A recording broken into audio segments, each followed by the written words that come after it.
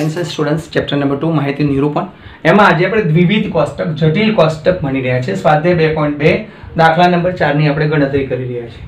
હું એકવાર રકમ વાંચું, ધ્યાનથી સમજજો. એક ફેક્ટરીમાં કામ કરતી અઢારસો પચાસ સ્ત્રીઓમાંથી પાંચસો ઓગણપચાસ સ્ત્રીઓ મજૂર વિસ્તારમાં રહેતી હતી. એટલે મજૂર વિસ્તારમાં રહેતી હતી. મજૂર વિસ્તારમાં રહેતી પરણિત સ્ત્રીઓમાંથી. બસો પચાસને નોકરીનો અનુભવ ધરાવતી હતી. તો જો અનુભવી, બિન અનુભવી, નોકરીનો એક તો અનુભવ અને બિન અનુભવ. પછી પરણિત અને અપરણિત. વૈવાહિક દરજ્જો આપ્યો છે પરણિત, અપરણિત અને વિસ્તાર આપ્યો છે મજૂર વિસ્તાર અને અન્ય વિસ્તાર. આટલી માહિતી આપણે રકમમાં આપેલી છે. તો ત્રણ માહિતી છે. જ્યારે ત્રણ માહિતી રકમમાં આપેલી હોય વિસ્તાર આપ્યો છે. નંબર બે, વૈવાહિક દરજ્જો આપ્યો છે. અને નંબર ત્રણ, નોકરીની લાયકાત આપી છે. ત્રણ માહિતી જ્યારે પણ આપણને આપવામાં આવી હોય, ત્યારે તમારે જટિલ કોષ્ટક બનાવવું પડે. જટિલ કોષ્ટકમાં કેવી રીતે બનાવવાનું છે? તો બધામાં બે બે માહિતી છે. તમે કોઈપણને સ્તંભમાં, કોઈપણને હારમાં લખી શકો છો. બરાબર છે? મેં અહીંયા વિસ્તારને સ્તંભમાં લખ્યું છે. રહેણાંકનો વિસ્તાર, મજૂર વિસ્તાર અને અન્ય વિસ્તાર. અને પછી એનો વૈવાહિક દરજ્જો છે પરણિત અને અપરણિત. અને એમાં પછી અનુભવી બિન અનુભવી કુલ, અનુભવી બિન અનુભવી કુલ, અનુભવી બિન અનુભવી કુલ. આ રીતે કોલમ બનાવેલા છે. કોલમને એકવાર સમજી લે થોડા. મજૂર વિસ્તારની કુલ સંખ્યા કે તો આપણે અહીંયા લખવાની છે. મજૂર વિસ્તારની કુલ મજૂર વિસ્તારની કુલ અનુભવી કે તો કુલ અનુભવી અહીંયા લખાય, મજૂર વિસ્તારમાંથી કુલ બિન અનુભવી અહીંયા લખાય, એ પ્રમાણે અન્ય વિસ્તારોમાં પરણિત સંખ્યા અન્ય વિસ્તારની પરણિત સંખ્યા પરણિત કુલ સંખ્યા અહીંયા.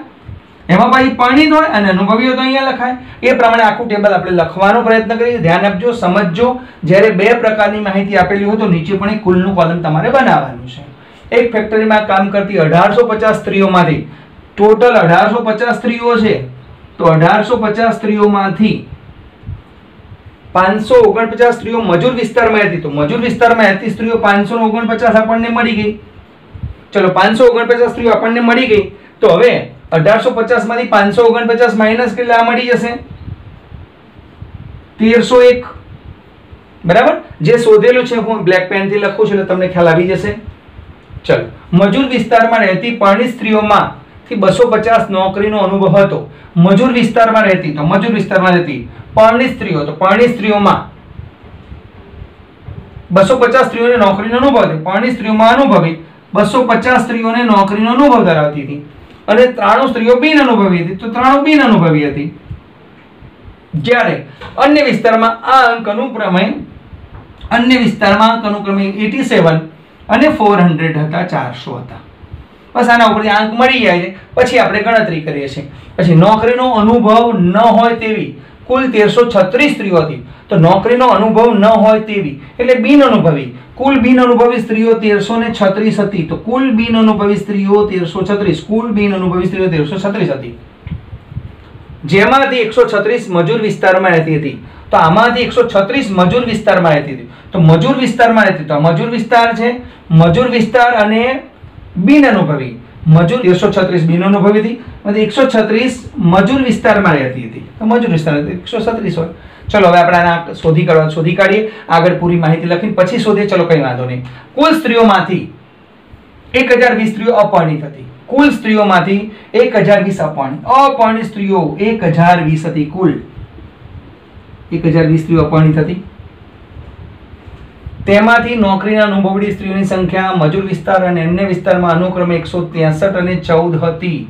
તો આ અપર્ણી સ્ત્રીઓમાં અપર્ણી સ્ત્રીઓમાં શું લખ્યું છે? નોકરીના અનુભવવાળી સ્ત્રીઓની સંખ્યા. નોકરીના અનુભવવાળી સ્ત્રીઓની સંખ્યા, મજૂર વિસ્તાર અને અન્ય વિસ્તારમાં અનુક્રમે એકસો ત્રેસઠ અને ચૌદ હતા. તો એકસો ત્રેસઠ અને ચૌદ. તો અપરણિત અનુભવી એકસો ત્રેસઠ અને ચૌદ. તો એકસો ત્રેસઠ અને ચૌદ હતા અન્ય વિસ્તારમાં. બસ આ માહિતી આપણને આપી છે. હવે ટેબલમાં આપણે માહિતી શોધી કાઢીએ. ધ્યાન આપજો. જ્યાં બે માહિતી છે. કુલ શોધવું છે. સરવાળો કરો. તો બસો પચાસ વત્તા ત્રાણું એનું ટોટલ કરતા આપણને મળે છે ત્રણસો ને તેતાલીસ આ ટોટલ મળે છે ચારસો સિત્યાસી. આ ટેબલ પૂરું જ કરી દઈએ. આમ ઉપરથી ટોટલ કરી આનું. તો સાત, આઠ ને પાંચ, તેર. ત્રણસો સાડત્રીસ. ચારસો ત્રાણું. ટોટલ કરીએ ત્રણસો તેતાલીસ અને ચારસો સિત્યાસી, આઠસો ત્રીસ. ચલો, એક આ ટેબલ પતી ગયું. હવે અહીંયા જતા રહીએ. અહીંયા માહિતી બહુ ખૂટે છે અને છોડી દઈએ. આપણે આમાં જતા રહીએ પહેલા. તો અહીંયા જો એકસો છત્રીસ અને એકસો છત્રીસ. એટલે અહીંયા આવે બારસો. હવે આ કુલમાંથી આ માઇનસ કરીએ તો તેરસો એકમાંથી બારસો જાય એટલે એકસો ને એક રહેશે. બરાબર? પાંચસો ઓગણપચાસમાંથી એકસો છત્રીસ જશે એટલે રહેશે ચારસો ને તેર. પાંચસો ઓગણપચાસ એકસો છત્રીસ, ચારસો તેર રહેશે આ બેનો સરવાળો કરીએ એટલે પાંચસો ને ચૌદ. આ બેનું ટોટલ કરી તમે ટેલી કરી શકો છો. હવે અહીંયા માહિતી ખૂટે છે. જ્યારે બે કરતાં ઓછી માહિતી હોય ત્યારે શું કરવાનું છે?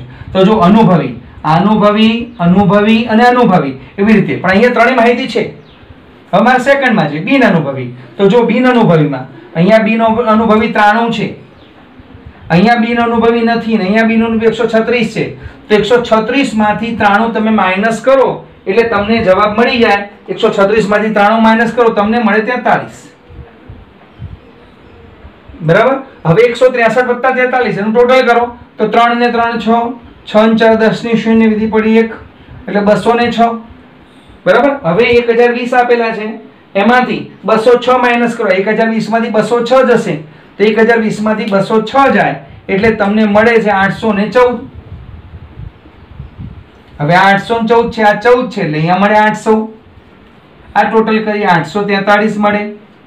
આ ટોટલ કરીએ તો ત્રણ ને ચાર સાત, છ ને એક સાત, એકસો સિત્યોતેર. આ બેનું ટોટલ ચેક કરો એક હજાર વીસ થવા જોઈએ. દસ ને શૂન્ય વિધિ પડી, ચાર ને એક પાંચ, સાત પાંચ, બાર નો બે વિધિ પડી, એક આઠ ને એક નવ ને એક દસ થઈ ગયા. આ પ્રમાણે આપણું આખું ટેબલની ગણતરી પૂરી થશે.